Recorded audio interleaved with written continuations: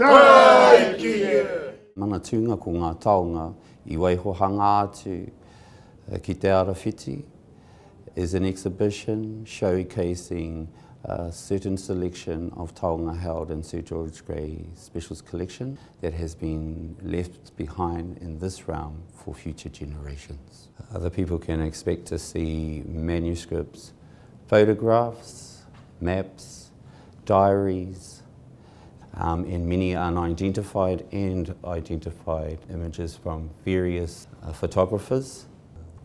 The significance of um, Manatunga uh, to, to the people of Auckland um, and to New Zealanders is that it's one of the greatest collections of Māori um, material and um, with digitisation and more easier access to it, hopefully it will feed um, multitudes in the sense of the well-being of their minds, hearts and souls.